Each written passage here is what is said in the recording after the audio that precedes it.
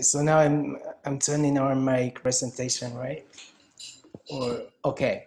Yeah. So yeah, right.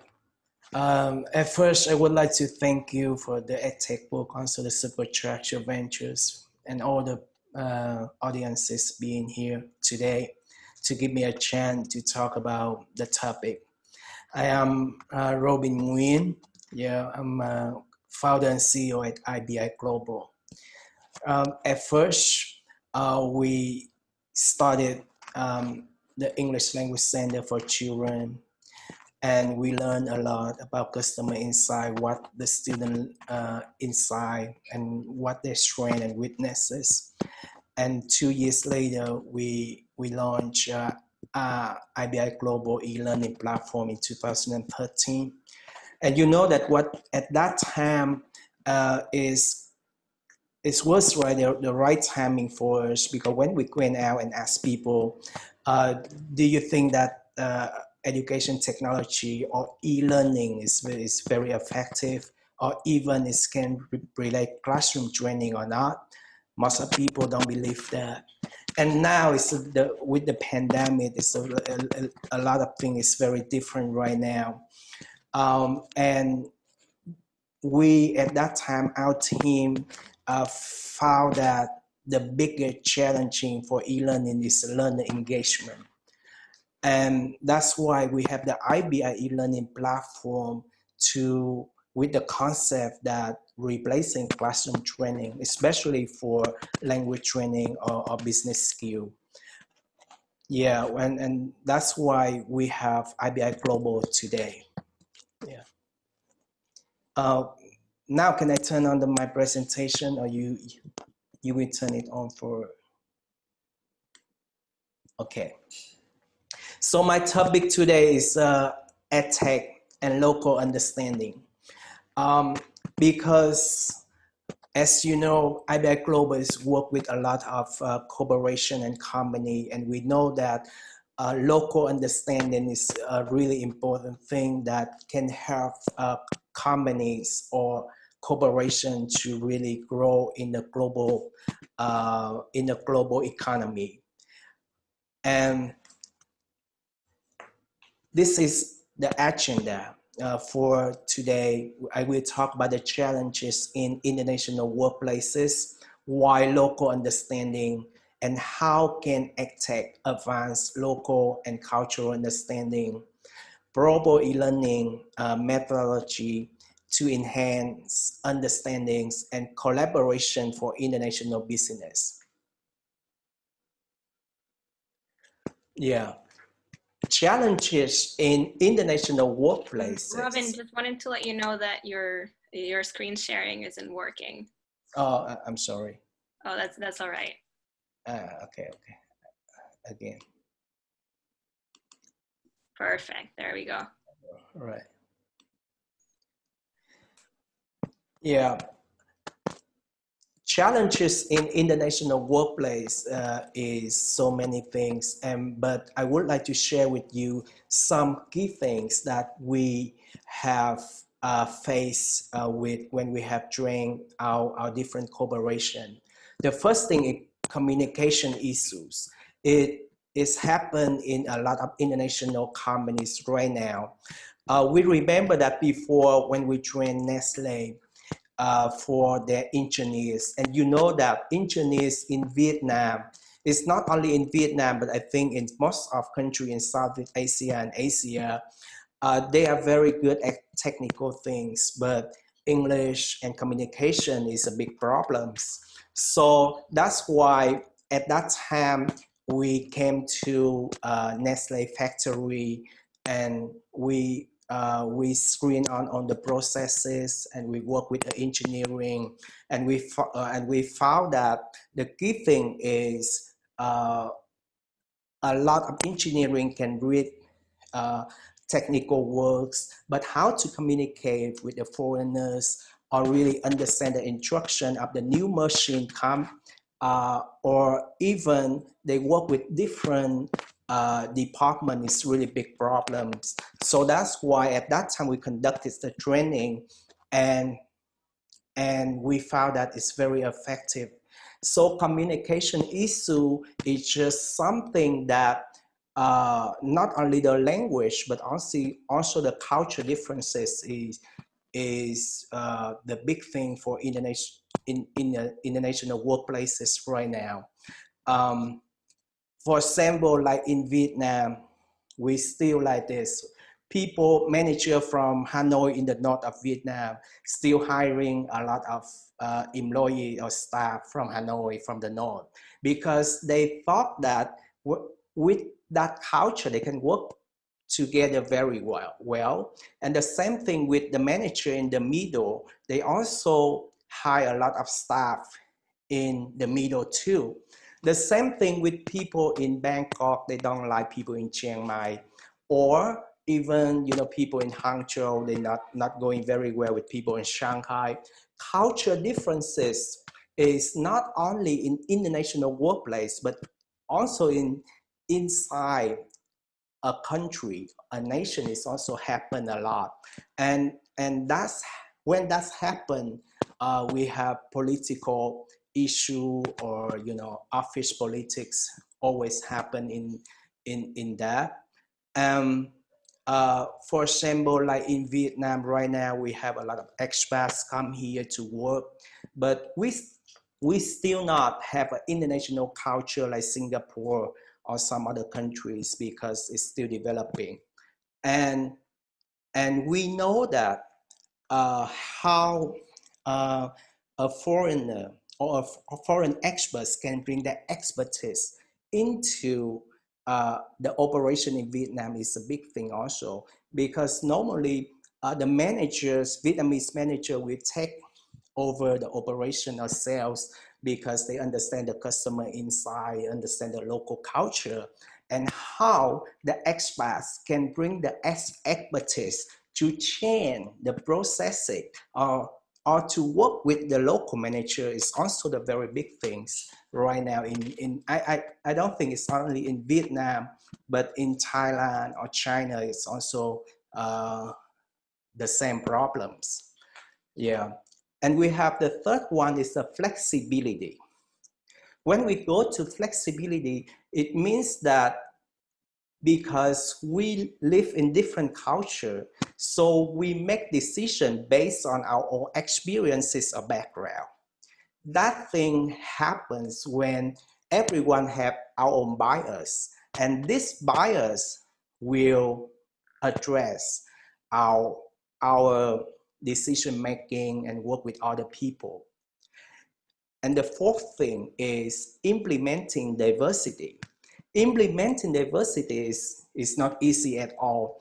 We have been through our for many years and globalization is already happened for many years, but we still see that, you know, the, the inequality between men and women in international workplace or in the career path or you know or or, or culture differences um, and uh, something like that is still happening a lot in in in, in our world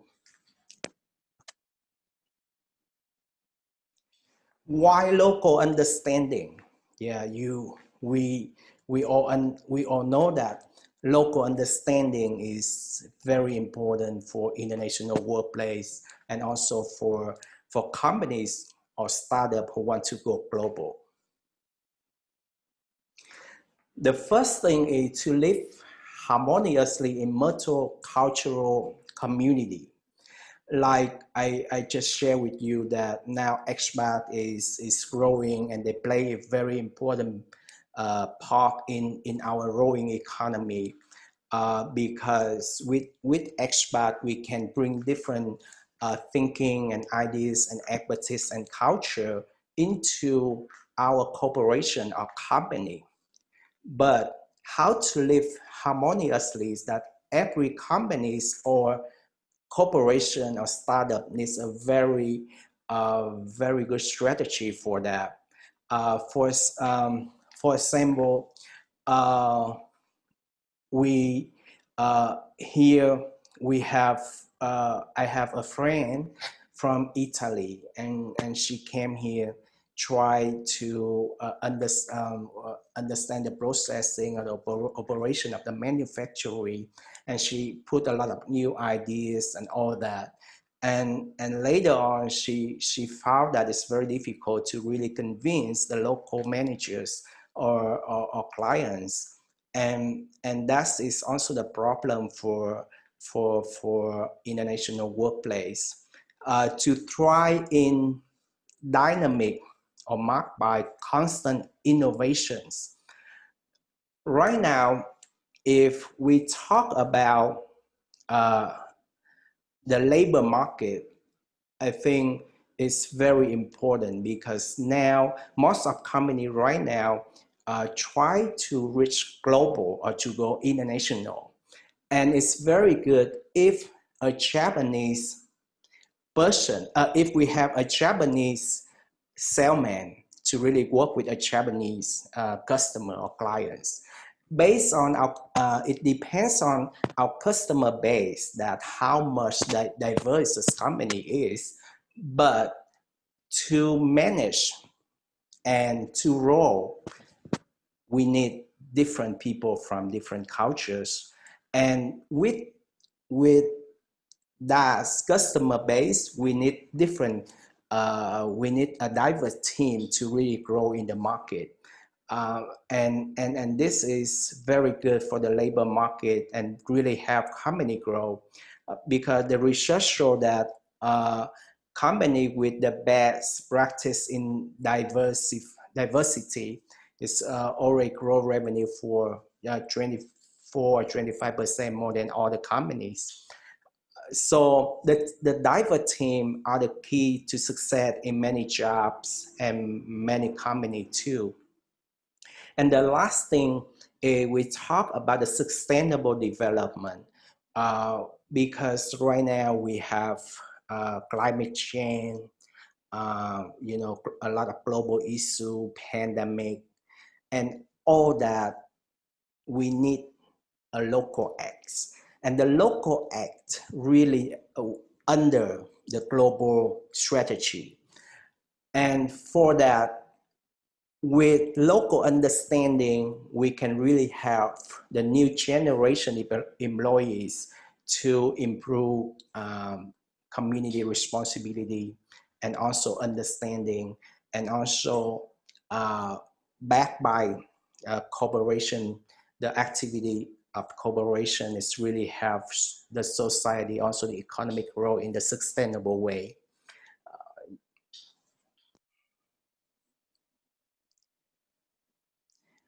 yeah, diversity, the engine of invention, it generates creativity and enriches out the world. Yeah, um, I have my own story about the innovation when we have diversity when we created IBI, you know, we work with academic uh, people from different culture, like the US or UK, because you know we uh, we have 100% uh, nat- native speaker training. And at that time, when we try to create the IBI learning platform, our IT guy also, you know, zero knowledge about e-learning or how to create the platform. At that time, we we, we were very struggling with that. And, and because I'm, I was the team leader, how to connect the technology team uh, no, with, without any English. And I work with the academic team uh, to build up content and also the pedagogy and everything. But backed by the IT team, Vietnamese IT engineers, they are very good at the curiosity and they try their best, their best to make it happen, even if something is very new. Um, and, and, you know, when we talk with our IT guy, and then they say that, okay, after three months, they may have the very draft version. But after three months, when I get back to ask them, they say, no, they cannot do anything.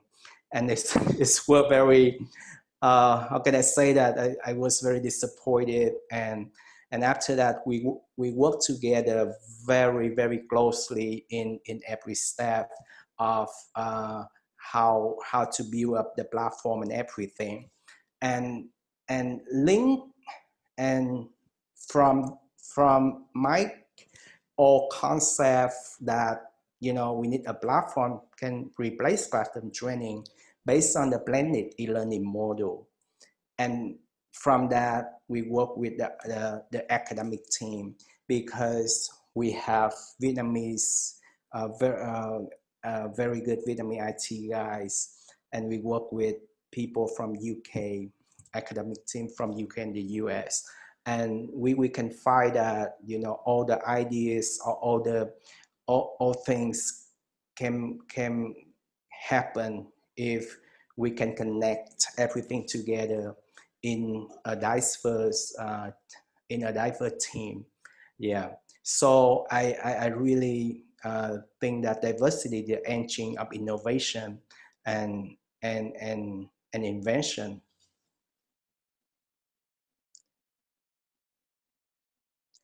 Yeah, so how can EdTech advance local and cultural understanding? Yeah, uh, that's one of our key advantage of our platform is we believe that with culture diversity training and education, we can help clients or corporation or startup can advance local understanding and also innovation.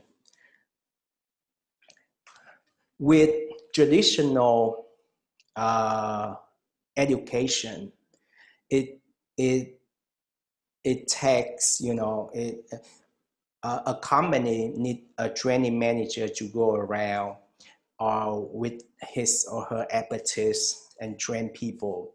But with EdTech, right now we have uh, you know uh, co- collaboration platform. And we have if we can connect with the experts from different culture and background and from that we can bring the training to a corporation or a startup. And people learn from the real experts from from different background and culture. And we believe that it's really help business and employee broaden their understanding of, of local realities. Yeah, um, and EdTech really can can help that because like uh, for many years ago when we uh, uh, set up the platform, at that time most most of the platform is MOOC or even like just cell-based learning. And you know, after that, we see a collaboration platform through Skype or live classroom training. Um, or some company they just do like cell-based or just app like they just uh, supplement uh, for a subject. Uh, the thing is, we need a proper, uh, a proper pedagogy or the method behind that. That's what we are lacking right now for EdTech. Because EdTech is not only technology, EdTech is more about education. And EdTech is more about people and learners inside. Student demanding is very different and the second thing is what they demand is not only cell based or not only supplementary, they want something bigger. And that's why we find that if EdTech can have a very, with, right now we have uh, enough with AI, we have with personalized, we have with the different technology already. So if we can put a broader methodology behind that, and then we, we can ensure that EdTech can help a lot for, for people to connect, to understand, and roll together.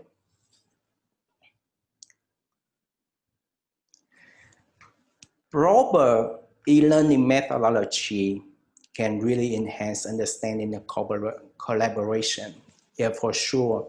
We have a lot of stories about our clients. For example, uh, before we train English for Sin, Syngenta, Syngenta, Syngenta has a lot of salesmen or sales supervisor in, in uh, you know, spreading out in, in all over the country. Um, but the thing is, that all the salesmen is not, not very good in communicating English, in reporting in English because their boss are uh, uh, Indian. And how to help they communicate uh, perfectly and can re- make report and everything. That's and and with flexible times also uh, space because they always going out and then never go to the company and they, they, they live in different uh, provinces. And at that time, we conduct a training, communication training for all salesmen of Syngenta in, in, in all over the nation. And the good thing is that uh, the engagement is very high because before when when uh, the company conducted the training for the salesmen at first they have 25 students in one class but at the end of the course it's only two students but we still keep at the end of the course people uh, the salesman and supervisor and manager also keep 80% of engagement that big and we believe that only EdTech can do that. Uh, traditional ed- education cannot do that, especially for professionals in the international workplace.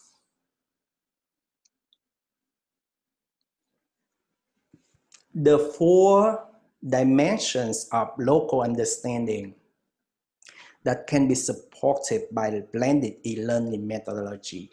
Why we talk about blended e-learning? Because we we know that cell-based learning only or live classroom only is not really health. It's still lack of something. The blended e-learning is the combination between cell-based learning and live classroom training. But the methodology behind that is the flipped learning. A student, if they learn something, they learn a lesson before they go live with their teachers and peers, is really more effective than they just only learn by themselves or go live with the teacher passively. So that methodology that right now we can also can do it in the classroom, but we move up into the online one and it's really effective also. For example, we have uh, English training.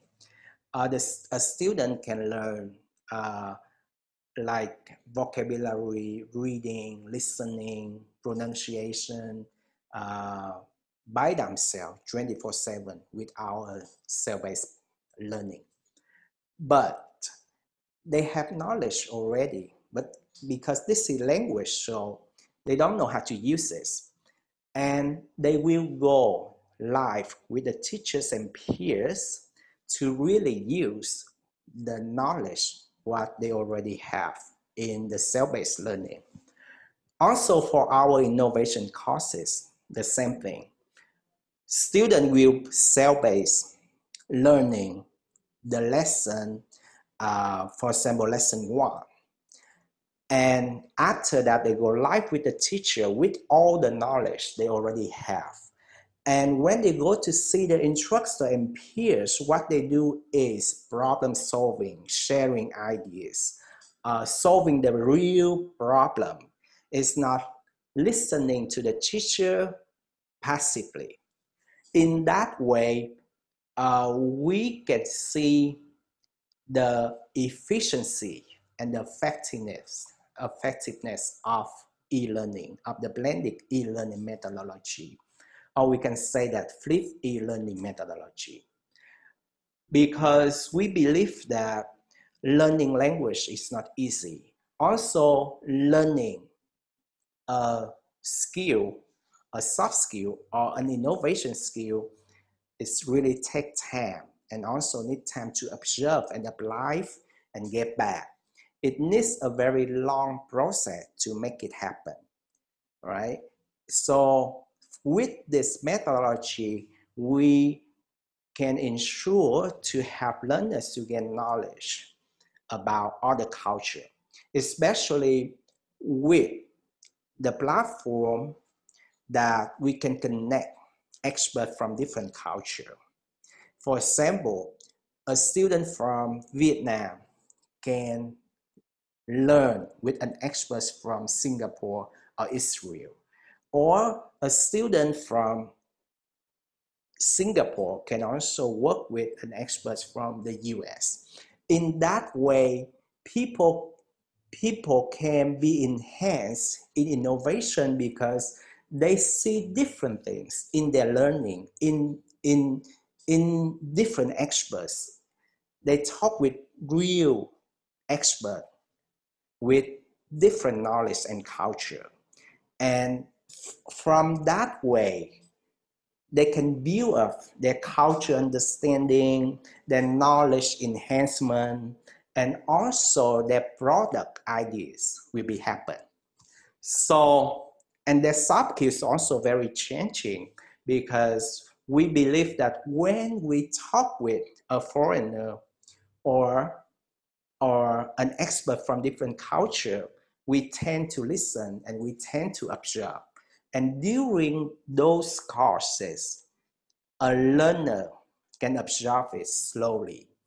And, it's, and, and, and later on, they can build the, the, the, the, the product for, for, for international, for global. It's not just very single-minded that they had before right?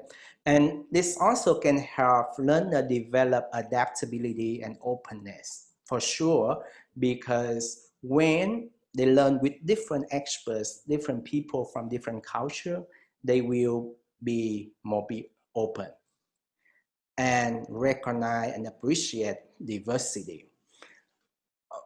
With those uh, dimensions of, lo- of local understanding, uh, we we can we can see that education for the future need to really take it into consideration.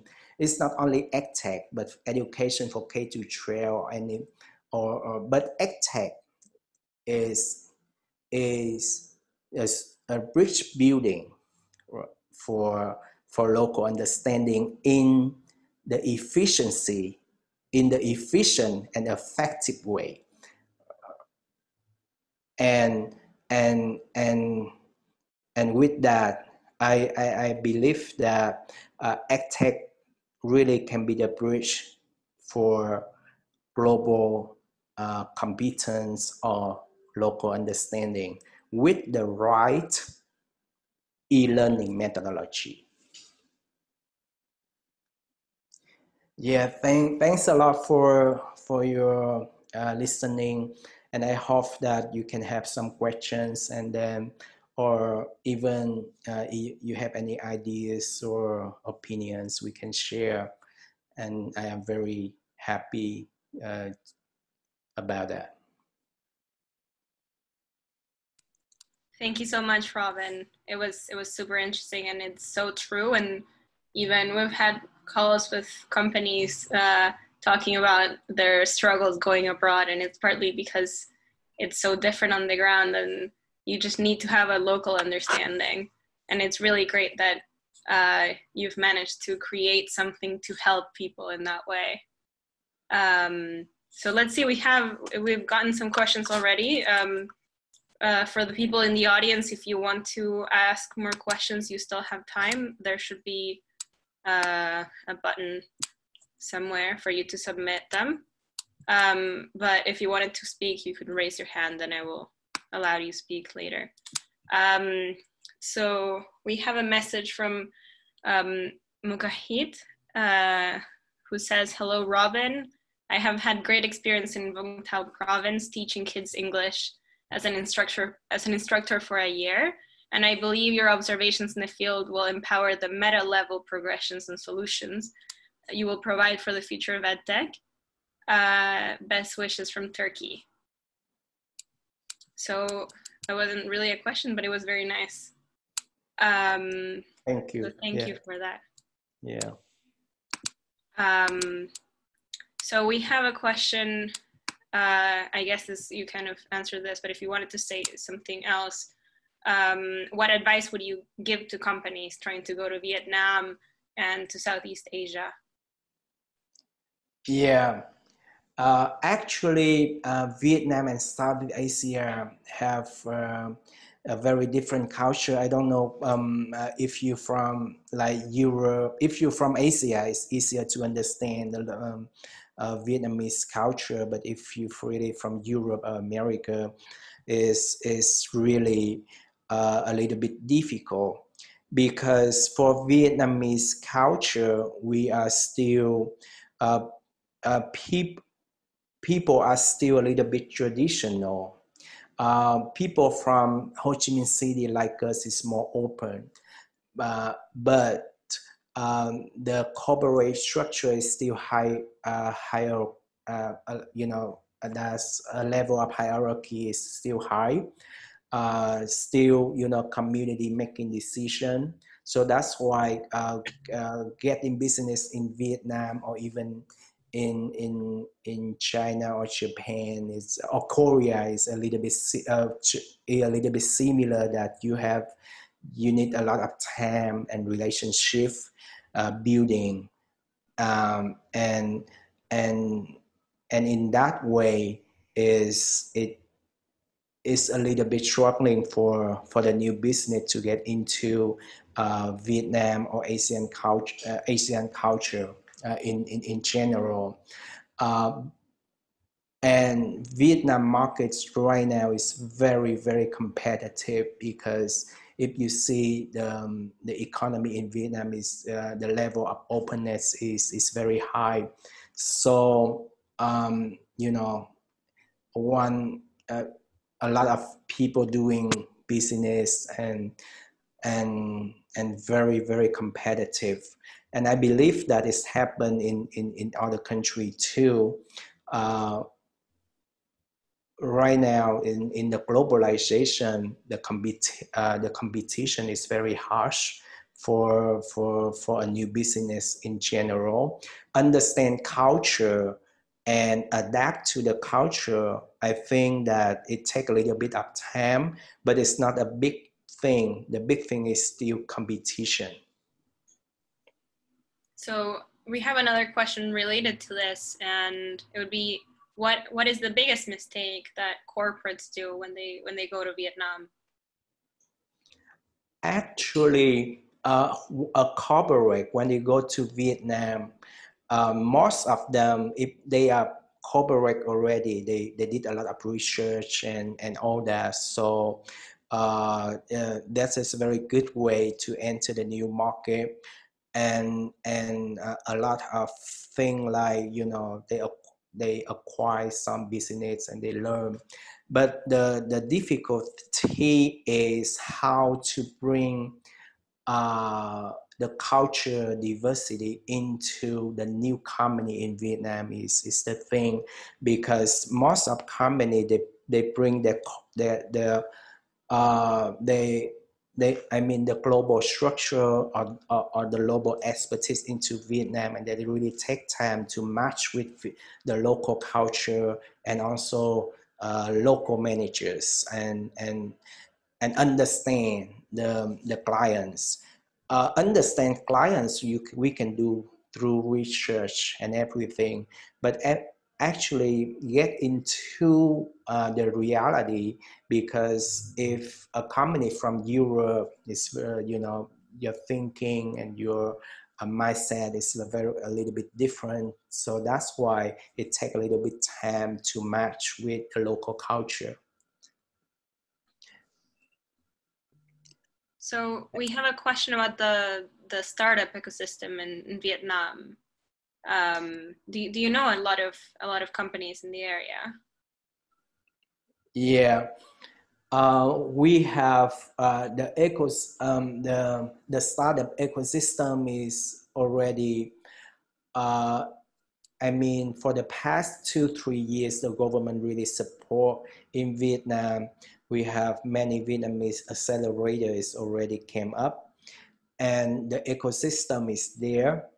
Um, uh, we have uh, a lot of events for for startups and and even the ecosystem is not is not done yet but it's still a lot of activity and uh, to to to have it happen.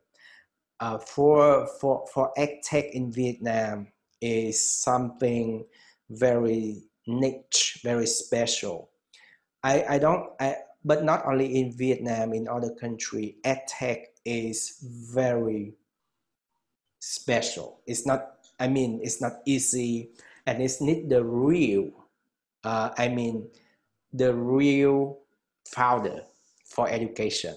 It's not, it's not business, edu- it's not business education for business, but it's need real uh, educator to do it.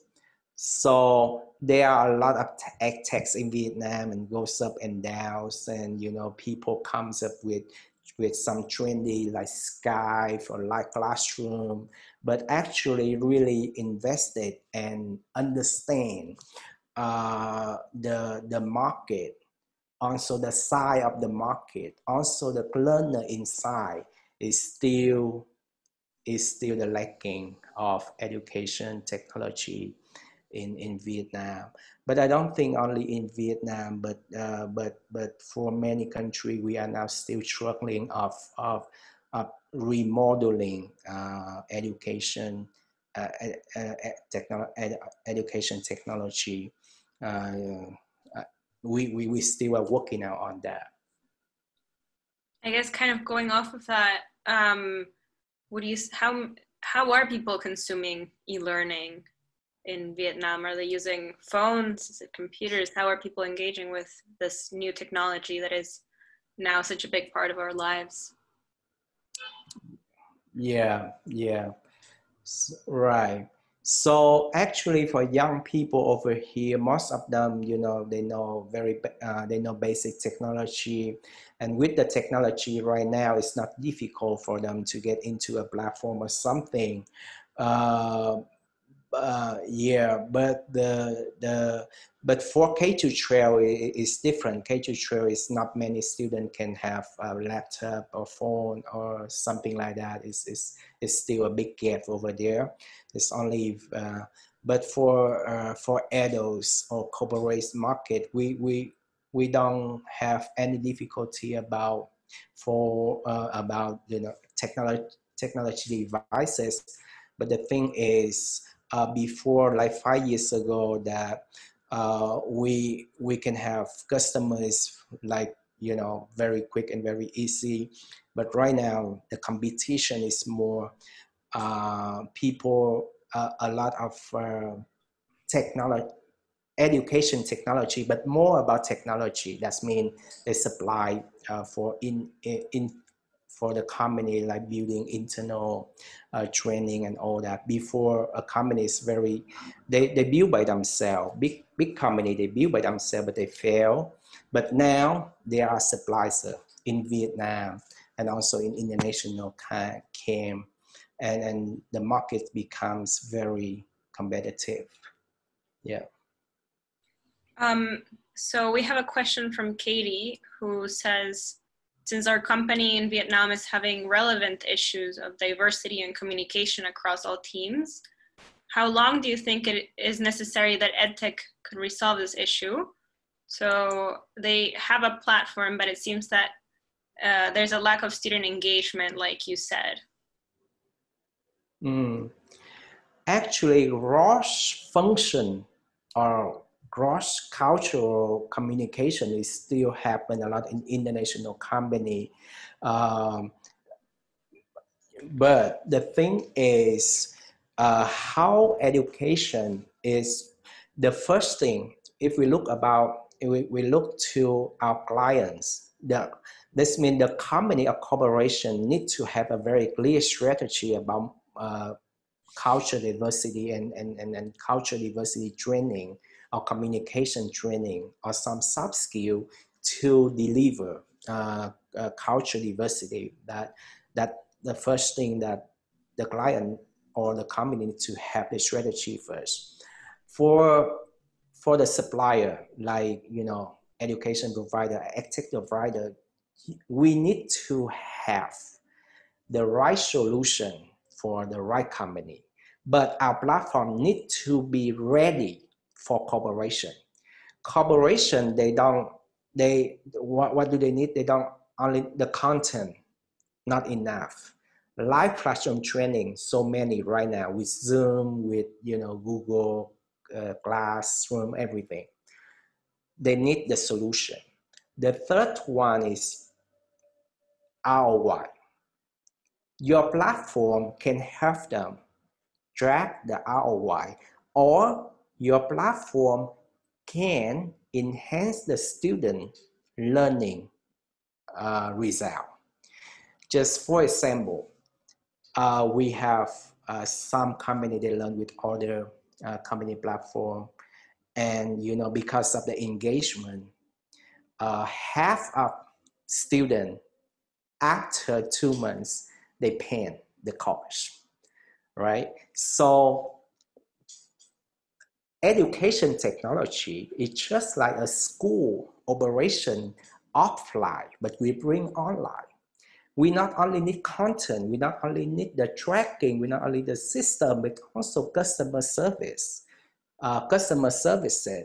We also need the proper methodology. We also need teachers relationship, student and teacher relationship. All that when we combine together, we can make it happen. But the second thing is the market, the sales. We have very good product already, but how to sell it or how to build a solution for you for, for your client is a big is another big thing also because in the very competitive market. So I think it's still it's still a very is still a long way for, for many com- tech companies right now. For uh, and your question is about how long we can bridge the gap for the diversity in one company. Uh, we, we, we, we cannot uh, we cannot uh, say we cannot say anything in advance because it is the coordination between the company or the HR department, the strategy of the company with the edtech provider. If and how much problem does the company have inside so it should be long or it should be short. It, it depends.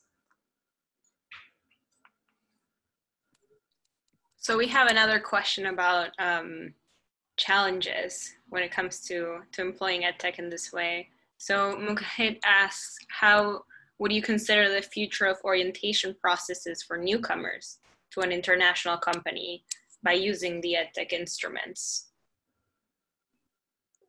Uh, can can you repeat? Yeah, yeah. So uh, for for new employees at, at um, for the orientation of new employees at companies at international companies, how how would these how would these instruments edtech instruments be applied for that? Oh, uh, so sort of longer term, you know. So you've trained your employees. I think that's what what this question is asking. You train your employees, you, you have new people joining in. How, how do you keep this uh, uh, going? Yeah. Uh, for the new employee training is is a strategy. It's a strategy. But right now, I can see many corporations, they have internal e-learning. That means they have like, you know, a very, uh, they, they have some uh, short courses or orientation online. But, but the big thing is it's not engaged because they think, uh, because they, they build by themselves and it's not professional enough for, for, for, for, for employee to really engage with their their small courses they put online and they you know um, the, a lot of things uh, I can see that the internal e-learning is it, it doesn't work very well. I, I, can see that for many for many uh, companies, just like digital transformation, many companies fail. ERP, e-learning is the very the same thing. Uh, so uh, your uh, your question is about how we train it is really a long strategy and process it, how to train the new employee, how and the pathway for that employee to go up. Um, otherwise, after one year two years, they will, you know, they will be uh, saturated and they find the new job. It's very, this is, is happen everywhere. So that's a, a very uh, long strategy for a company to build it, you need to uh, train the new employees. You need to understand their pathway, their potential, and keep the training to the key person for the new uh, position. That's a very big thing for HR. The training for a company right now uh, most of company right now they do a lot of coaching inside. But hiring an tech company or a provider from outside is a very good tool because you bring new ideas and new technology and also the new concept to building up your team and make the uh, and make uh, the team more open. Um, so uh, I can I, I just can answer like this, but uh, concretely it, really depends on uh, the HR or people or personnel development of every company. Thank you so much. And I think with that, uh, the the only question that we have left is about the EdTech book presentation at the beginning. And um, whoever submitted this, uh, please reach out to me on LinkedIn. I'm Karen Wasserstein. You can find me otherwise through Supercharger, and I can send you the materials. Um, and I think this is perfect timing to thank you again so much for your presentation. I think we all we all learned a lot, and it's been a very different topic this time uh, but equally important and actually fundamental to success in a new market. Uh, So I think it, it will give us all something to think about when when making business decisions in the future. Um, so yeah, on behalf of everyone, thank you so much again. All right. Thank, thanks a lot, Karen. And again, thanks for uh, the EdTech and the uh, the SuperCharger Venture and all the audience to be here to uh, today. Thanks a lot uh, for your time. Thank you. Bye-bye. Bye. Bye.